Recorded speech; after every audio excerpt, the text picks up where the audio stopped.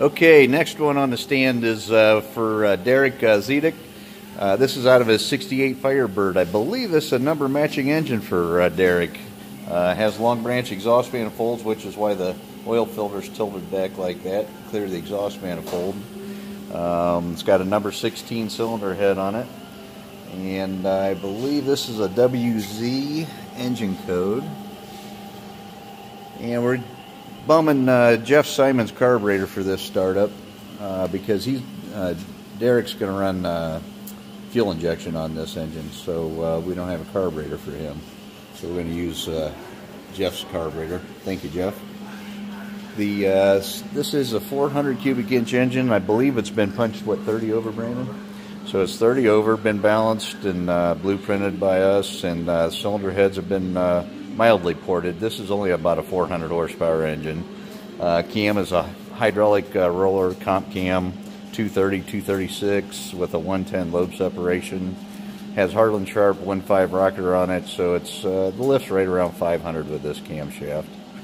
Um, the uh, we internally balance the these engines now instead of externally like the Pontiac did from the factory.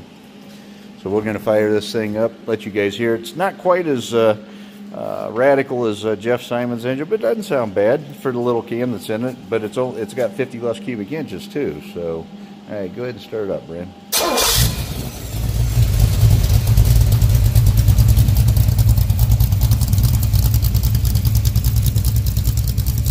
This engine idles a little bit lower too. This one here we can idle down around 900.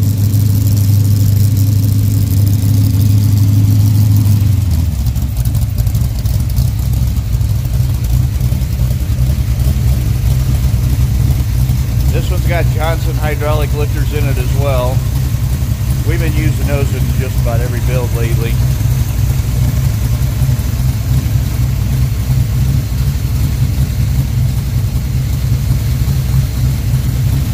Probably making somewhere around, I would say around 400 horsepower.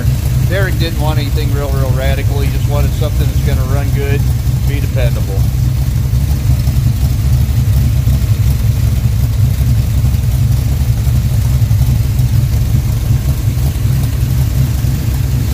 Throttle response isn't quite as snappy as what Jeff's is, but it's not bad.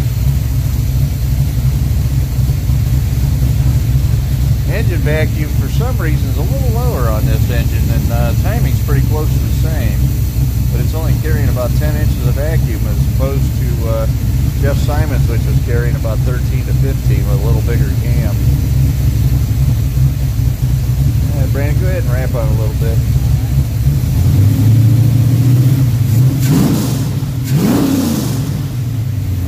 It's not quite as snappy as Jeff Simon's, but that isn't what Derek wanted either. Lifters are quiet.